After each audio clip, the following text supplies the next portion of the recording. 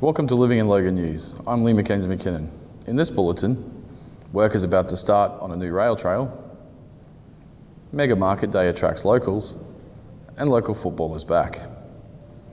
Work is about to start on a three and a half kilometre walking, hiking and riding trail between Logan Village and Yarrabilba. The rail trail includes a two and a half metre wide asphalt pathway, a watercourse crossing near Yarrabilba, earthworks and drainage, bollards, and wayfinding and entry signage.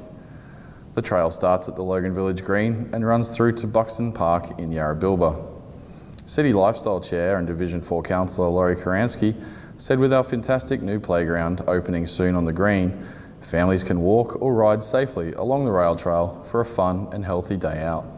Now you've probably heard recently some exciting stuff around rail trails in Division 4. Between Logan Village and Yarrabilba we were fortunate enough to get some state government COVID funding which will enable us to actually build the trail. So three and a half kilometre trail, we'll actually have the trail connecting right back down here onto the Logan Village Green.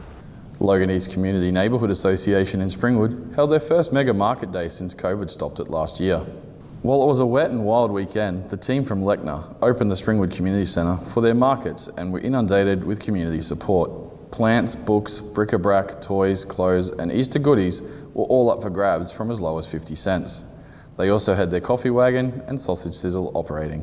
I'm just really pleased to see we've got a full house here today um, at our market day and our next market day is on the 5th of June uh, 2021.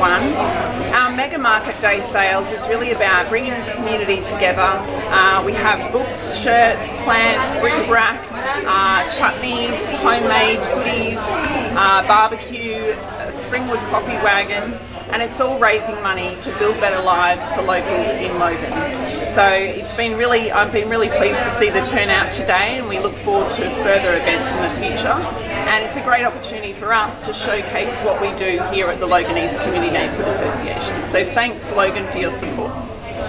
Local football is back with many trial games taking place all over the city before the season starts early next month.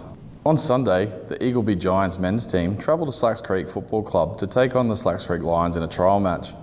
The Lions put in a strong lineup of players, while the Giants used the game to trial several new players to the club. The Lions held the lead from early in the first half, and while the Giants put in a gallant effort, Slacks Creek went on to a dominating win. That's all for this bulletin. Don't forget to subscribe to us on YouTube and like us on Facebook. I'm Lee Mackenzie McKinnon. Thanks for joining us.